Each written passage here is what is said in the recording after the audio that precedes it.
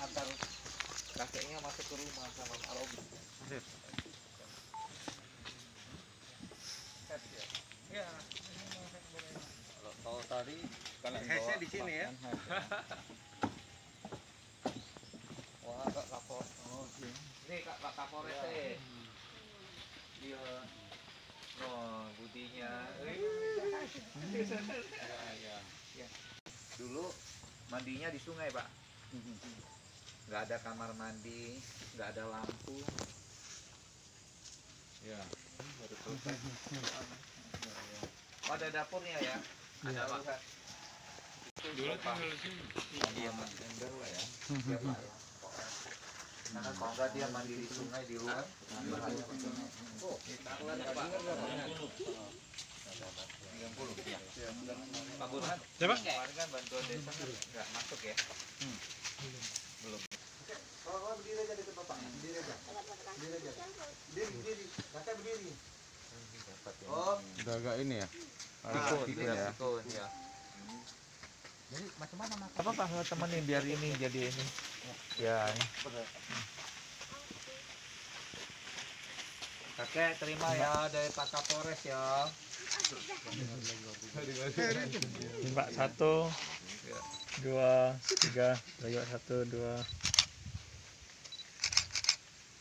Tapi kakek nggak ada Pak. Ada ya? Iya, nanti kita ya Pak.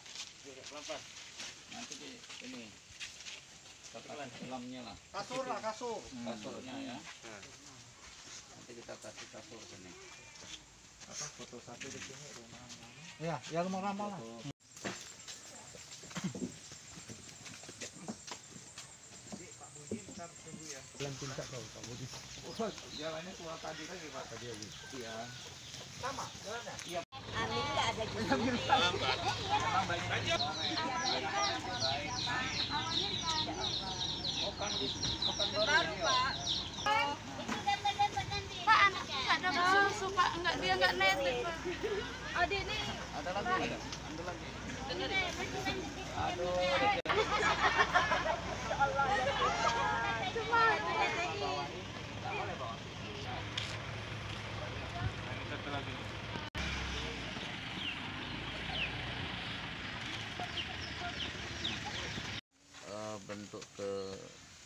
keprihatinan ya.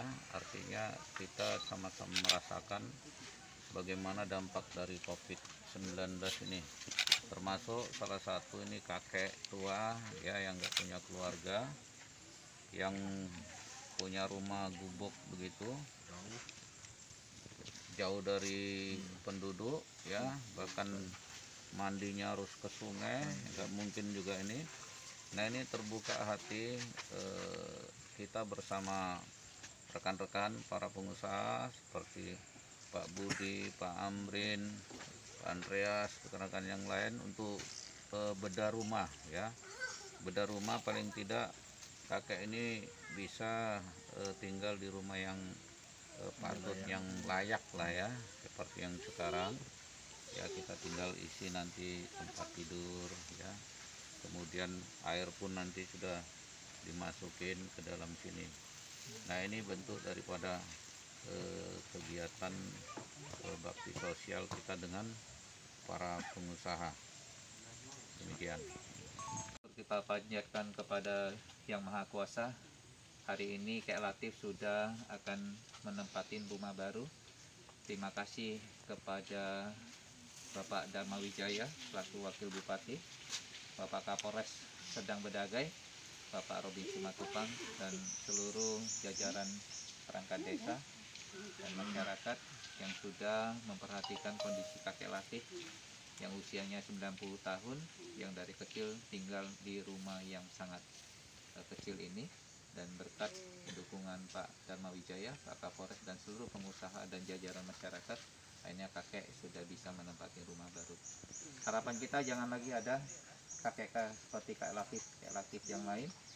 Ayo kita sama-sama terutama di perangkat desa dan perhatikanlah kondisi masyarakat apalagi di wabah COVID-19 dan bulan Ramadan dan bulan yang penuh dengan berkah. Terima kasih. Salam untuk kita semuanya.